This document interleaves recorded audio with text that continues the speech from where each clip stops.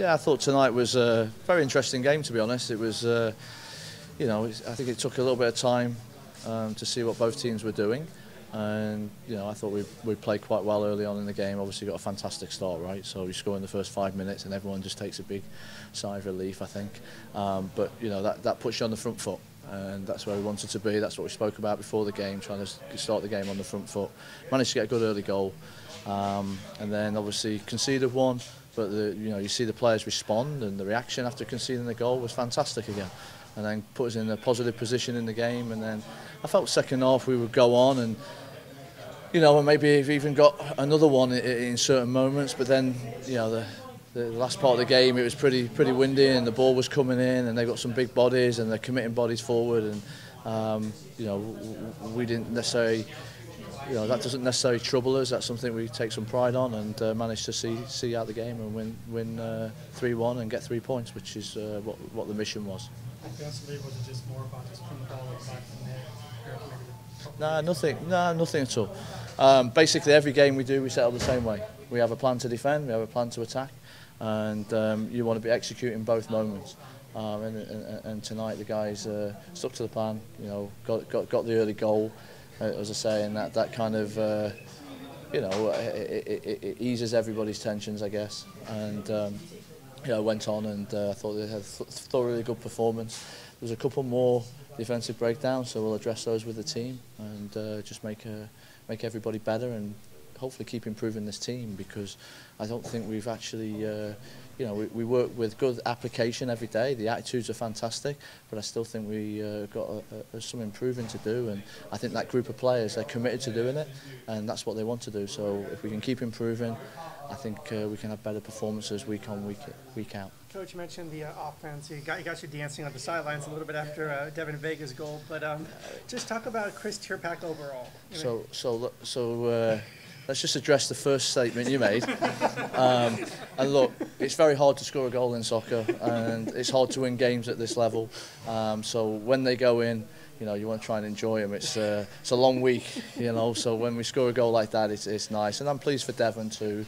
You know, the, the, he's a young lad that's uh, you know trying to trying to gain experience and get better um, for his future career and uh, I was really pleased for Devon tonight because um, he had a little bit of a setback last week with a, a slight injury so it's good that he's bounced back and, and showed a good attitude to do so. Tirpak, um, you know, Chris, Chris has been, been hungry every game and he's been a little bit unfortunate, I think, during the course of the season.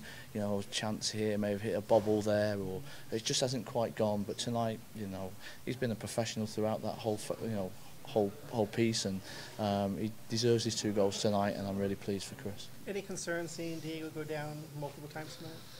Yeah, I mean, you know, it, it, it's uh, that ball's bouncing around the box. It's a concern. So, you know, with, with that happening, and uh, I think Ben went to clear it and hit him straight in the face. I mean, obviously I haven't seen that, but that's what it looked like. Um, so I think it just knocked knocked him around a little bit, but. Um, you know, he, he got he got himself dusted off and uh, ready to go again. So, you know, Diego's a pro, and you know, I think he's a guy that uh, understands the game of soccer and is, is also improving week on week in week out. You won 10 games all of last year to match you got Yeah, but it, we're just obviously we're just getting ready for next week. To be honest, you know, this league is a is a long season, 32 games, so it's nice to to, to, to get to 10 wins. Um, but you know, we know there's, there's we've still got more games left than we've actually played.